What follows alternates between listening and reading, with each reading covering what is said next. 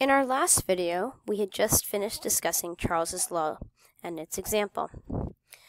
Our next example is on the Gay-Lussac law, which provides information about pressure and temperature. It says, what is the pressure inside a 0.0250 liter can at 25.4 degrees Celsius and 1 atm if the temperature rises to 100.5 degrees? This problem relates just pressure and temperature, but also includes a volume. The volume is extraneous information and does not matter. We need to go ahead and convert our temperatures to Kelvin by adding 273 to both of them.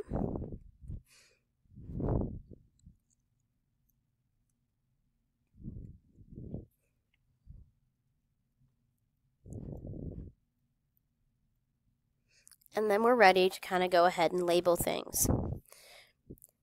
So we have a temperature and a pressure that are together. So this is going to be our T1 and our P1. And then this is our second temperature. And we're going to plug in our equation just like normal. So P1 over T1 equals P2, which we don't know, over T2. And once again, we're going to cross multiply. Honestly, if you would like to solve this without cross multiplication, that's fine. As long as you overall solve for P2, you're in good shape. The answer you should get here is 1.25, which for sig figs would be 3 sig figs. I'm going to leave that as 1.25 ATM. Okay. Let's move on and continue with our laws and their examples. This is an example of Avogadro's law because it gives you liters and amount. So as you're reading the problem, this is a volume. Moles is an amount. Here it says moles increases, so this is N2 and you're looking for V2. And once again, you're just going to plug all your numbers into the equation and solve. So V1 over N1 equals V2 over N2. You go ahead and you solve algebraically, and when you do that, you should find that V2 equals 20.4 liters. This very last example problem is a combined gas law problem. And you would know that it was combined gas law because it's got more than three numbers in it. It has a total of five. It doesn't matter if the pressure units are mmHg and not something like ATM, as long as they match, you're in good shape. The same thing with the volumes. So liters and liters, mmHg and mmHg. The temperature, once again, just like before, you have to add 273 to get Kelvin, which will give you 294 here. And then what we're going to do is label everything like before. So that's our first volume. This here's our first pressure. This here's our first temperature. This is a second volume. This is a second pressure. And we're looking for T2. So I'm going to plug all of my numbers into my equation. P1 times V1 over T1 equals P2 times V2 over T2. And once again, you're going to use your algebraic and mathematical skills to solve this. Often, again, I cross multiply, and you can write down as many of the steps as are necessary. Okay. In the end, when you round for sig figs, which should be 2, T2 should come out to be right around 590 Kelvin. I think it's actually about 594, but we only want 2 sig figs. Okay. Let's continue our study of gas laws. The next gas law we're going to discuss before you get some time to practice these laws is Dalton's law of partial pressure. The law states that the total pressure inside a container is equal to the sum of the individual partial pressures. Okay, so if I had three, you know, blue marbles, two yellow marbles, and one red marble, I'd have a total of six marbles. There are actually two forms of this equation. Okay, so PT, which stands for total pressure, equals P1 plus P2 plus P3 dot dot dot, where you would either, you know, be given all the partial pressures and asked for the total, or be provided with the total and asked to find one of the partial pressures. The other form of this equation is this one. P1 equals X1 times PT. Okay. Your PT is still your total pressure. P1 is whatever pressure you're looking for. So of whatever the substance is. And X1 is actually called the mole fraction. But here, for right now, we're just going to say that it's our percent as a decimal. Okay, that's that form of the equation is actually called Raoult's law.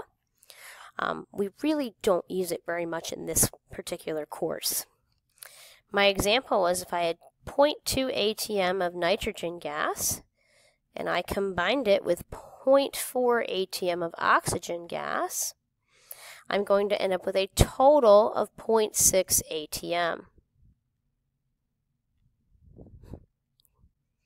You're going to use this equation, or one of the forms of this equation, if you see the following key phrases.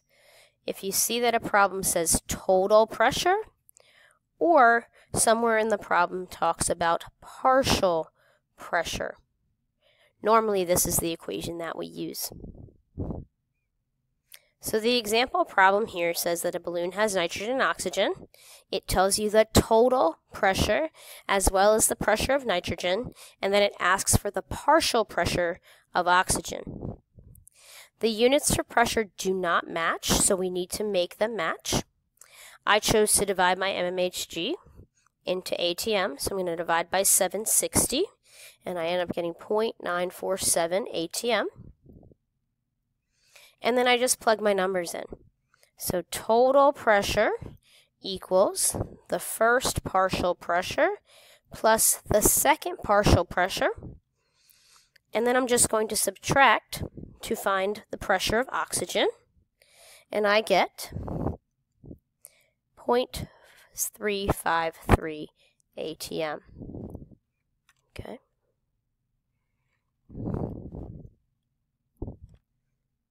Moving on, we have one more law to discuss before it's time to practice.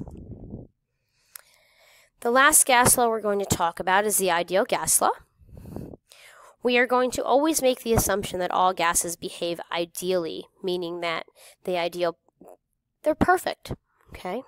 They don't ever transfer any energy, the particles don't take up any space, Okay, and this is true under most conditions. It is not true at low temperatures or high pressures, and this is mainly because of phase changes, which we'll be talking about later this chapter. Okay. An ideal gas is a gas where the particles are said to have no volume, and we say that their collisions are elastic, which means there's no attractive forces between the particles. If a bouncy ball was elastic, it would hit the ground and every single time come back up to your hand. And until you stopped it, it would continue. Okay. We're going to use this equation, which we'll talk about in just a second, if we are given one of each variable. So if the problem provides one of each variable, not two of any, we use this equation. Okay. The equation is PV equals NRT. R is a constant. It will be provided on the test. It's right here. Okay, and that constant is based on certain units. So for this law, pressure must be a certain unit, so must volume, so on and so forth. So pressure is always going to be in ATM. If it's not, you must convert. Volume must be in liters, N must be in moles, and temperature, just like it has been for all the laws, must be in Kelvin. So let's do this example problem here. it's asking for moles, that's our N amount. It provides us with a volume.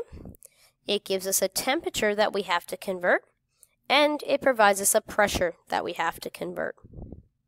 So for temperature, 19 plus 273 gives us 292 Kelvin. And for pressure, we're going to take our 747 divide by 760 because that's the conversion factor. And we get 0.983 ATM. And then just like with all the other laws, I'm just going to plug all my numbers in and solve for the missing piece. So my 0.983 is my pressure. My volume is 2.0. I don't know my N. My R is 0.0821. And my T is 292.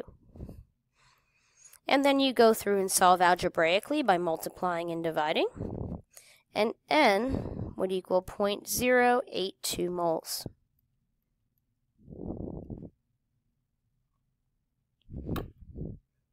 Okay. One of the hardest parts about using all of these different equations is first identifying which equation to use. Let's kind of review that on the next slide. So, for each of these problems, I would like you to identify which equation we're using. Is it the combined, which is all of the variables, P1V1 over T1N1 equals P2V2 over T2N2? Is it Dalton's, or is it ideal? Please pause the video and identify the equations.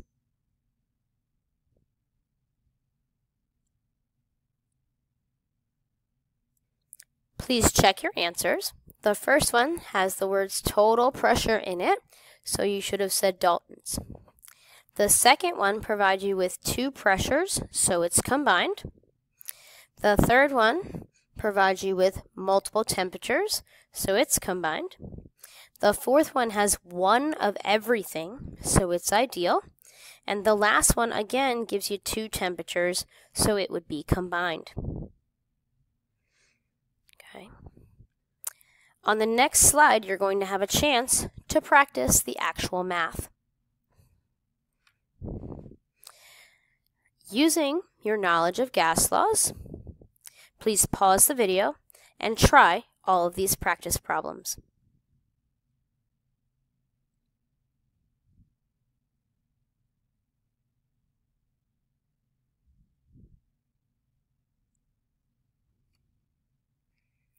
The answers to each of the problems are here.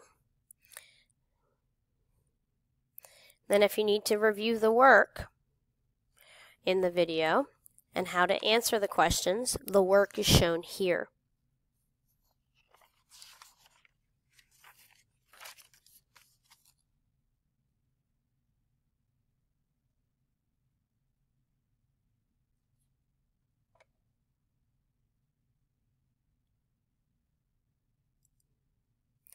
Our last gas concept is stoichiometry.